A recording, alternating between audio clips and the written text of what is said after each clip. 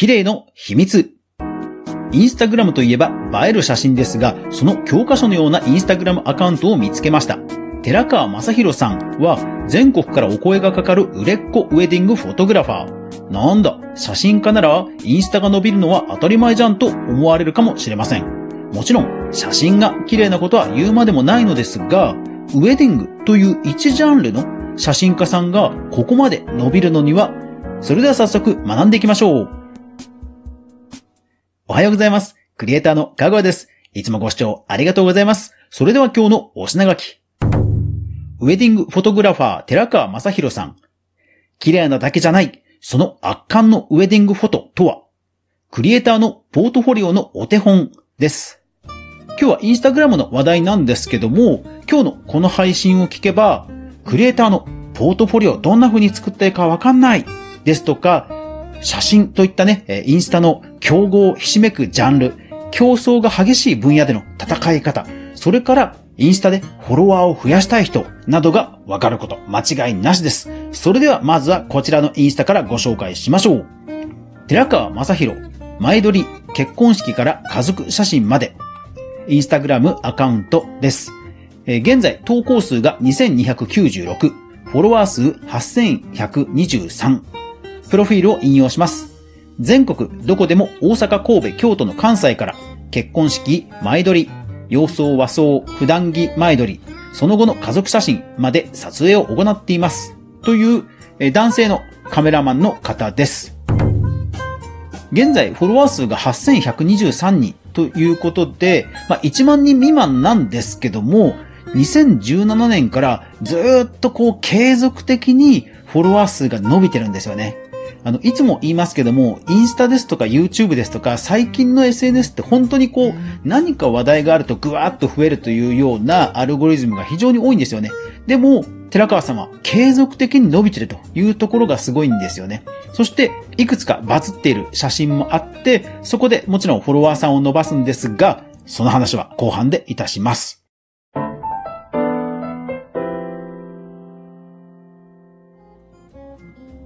まず、寺川さんの写真なんですけども、まあ、本当に美しいんですよ。もう、美麗美麗美麗ですよ。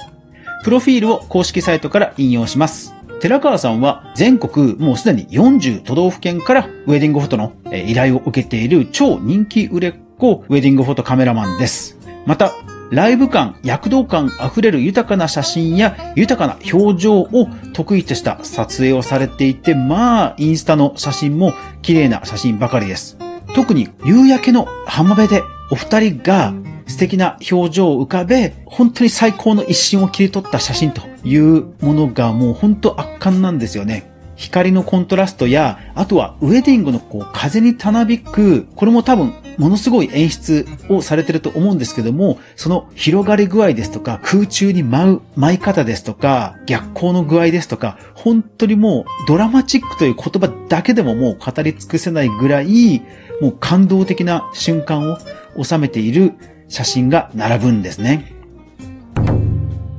さあ、その寺川さんなんですけども、なぜここまでそういった素敵な風景、素敵な表情を収められるんでしょうか？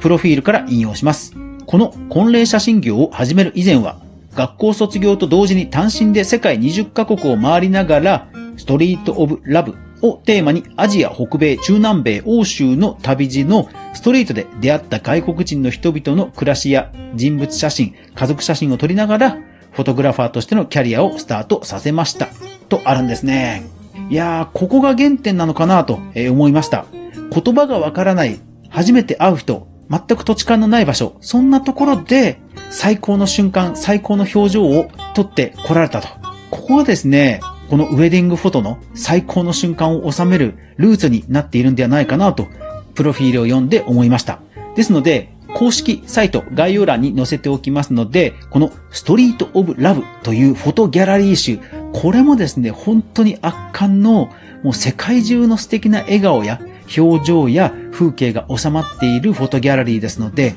こちらもぜひ見てみてください。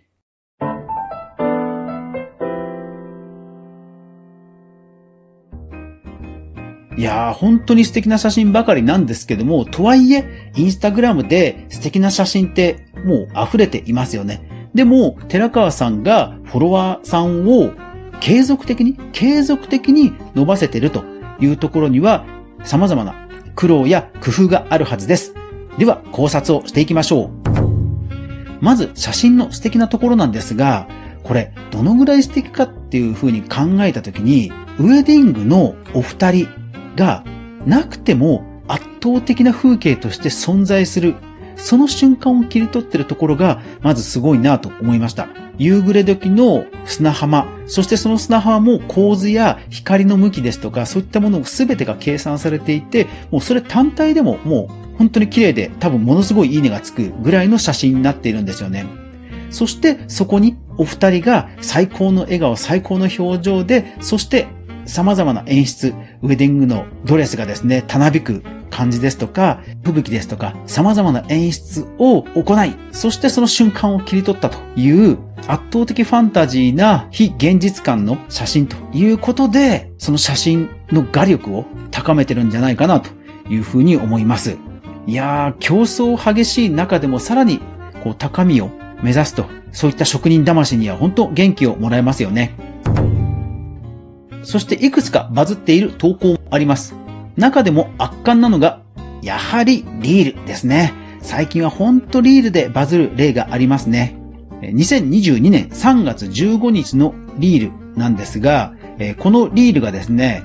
他のリール動画が3100、2400、8400と再生される中、この動画が1.3万と、まあ、バズっているんですね。そして内容なんですが、その素敵な写真がめくるめくスライドショーとして一枚一枚出てくるんですね。ただそれが音楽のドラムのビートのリズムとしっかり合って素敵な音楽と共に素敵な写真が流れるというリール動画になっています。これはね、ウェディングに関係しない人でもね、もう笑顔なしでは見られない、そんな素敵なリール動画になっています。バズるのも頷けますね。ですので、リール作るのが難しいなという方も、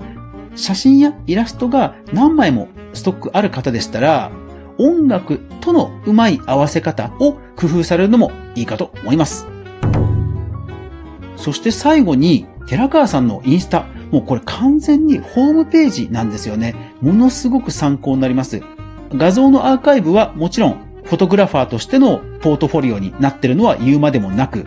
固定の投稿が、例えば取材の新聞であったり、あと固定の投稿も9枚のサムネイル表示の写真を10枚並べるという、より多くの写真を見せるうまい見せ方になっています。そしてアーカイブ、丸いアイコンのところなんですが、LINE お問い合わせ、お問い合わせ、撮影プラン、お客様の声、撮影風景、Q&A、マイカメラ、旅の写真というように、本当にホームページのメニューにあるかのような仕事を依頼してもらうというようなメニューが並ぶんですね。そしてお問い合わせのこのアーカイブですと、基本的にほら、あの30秒で流れちゃうじゃないですか。ですからしっかりね、えー、その中央に公式サイトへのリンクを貼っているということは非常に勉強になります。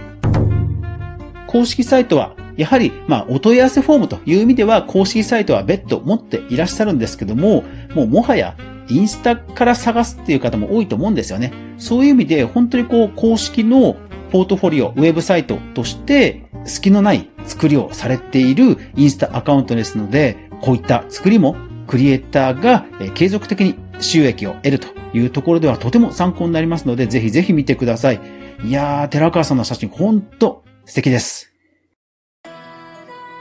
はい。というわけで、アフタートークです。240日後に、ジャパンポッドキャストアワードにノミネートす、あ、違う、違う。えっとね、日数はカウントします。日数はカウントします。はい。えー、ただね、発表が確か1月何日かだったと思うんで、まだ300日くらいあるんですかね。はい。えー、なんとか後になんとかするペケペケみたいな、そういうちょっとタイトル考えておきますね。で、今日もですね、ちょっとリサーチをしていました。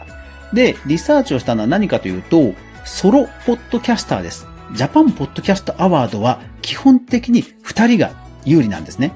で、これはまあ音声番組全般しょうがないんですね。やはり2人の方がコントラストが出ますし、あとネタも継続しやすいですし、一人語りというのは本当不利なんですよ。ですから、過去のジャパンポッドキャストアワードを見ても、入賞者の、まあ、半分以上はもう2人以上なんですね。ただ、ゼロではないということで、リサーチをしていました。